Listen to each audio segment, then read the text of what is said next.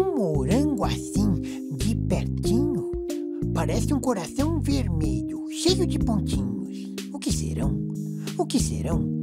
O que serão esses pontinhos? Vou perguntar para minha avó. Ô vó, o que que são esses pontinhos?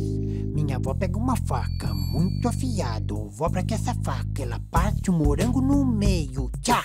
Parte uma laranja no meio. Tchá, tchá, tchá, tchá. Um mamão, um abacate, um caju, um tomate. Parte no meio. Olha pra mim e diz assim. Veja só, laranja tem semente por dentro, caju tem semente por Fora, mamão tem semente por dentro, morango tem semente por Cada carocinho do morango é uma minúscula semente, muito diferente da semente do abacate, que mora só num caroção, que mora só num caroção. Formiga no Formigueiro, morango nasce no morangueiro, Formiga nasce no formigueiro, morango nasce no morangueiro, morangueiro solta um galho na ponta nasce a flor. Que cor?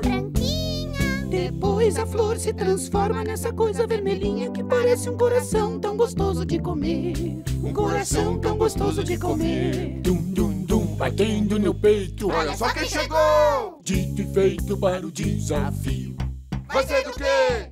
Nome de fruta: Pode mandar!